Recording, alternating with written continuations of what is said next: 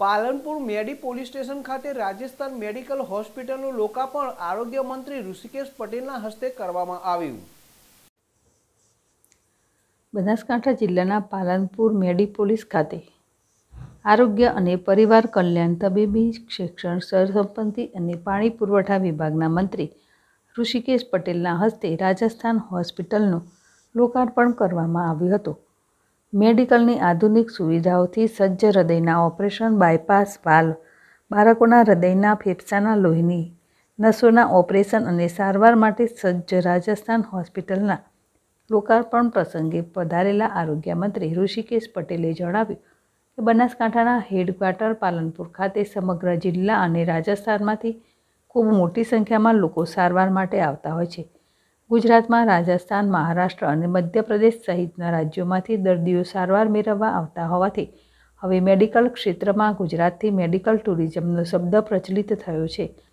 પાલનપુર ખાતે ડૉક્ટરો survey, doctor Suresh Patel, doctor Bhavesh Solanki, doctor Parth અને ડૉક્ટર વિશાલ ચૌધરી દ્વારા ક્રિટિકલ કેરની સારવાર માટે પચાસ બેડની અદ્યતન હોસ્પિટલ શરૂ કરવામાં આવી છે.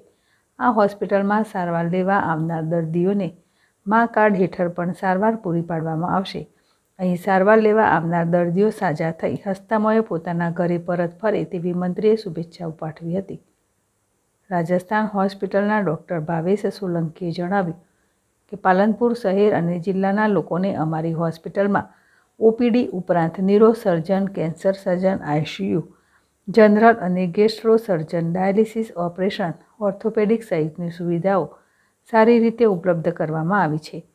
હોસ્પિટલના લોકાર્પણ પ્રસંગે ધારાસભ્ય શશિકાંતભાઈ પંડ્યા અને નાથાભાઈ પટેલ, શેઠ જોઈતાભાઈ પટેલ, પૂર્વ મંત્રી કેસાજી ચૌહાણ ડીસા માર્કેટયાર્ડના ચેરમેન માવજીભાઈ દેસાઈ, અગ્રણીઓ ગિરધરભાઈ ભીમાણી, વસંતભાઈ પુરોહિત, હોસ્પિટલના એમડી આકાશ શર્મા, લલિત ચૌધરી શ્રવણ રાજપુરોહિત મુખ્ય જિલ્લા આરોગ્ય અધિકારી ડૉક્ટર એસ એમ દવે સહિત અધિકારીઓ, અગ્રણીઓ અને શુભેચ્છકો ઉપસ્થિત રહ્યા હતા.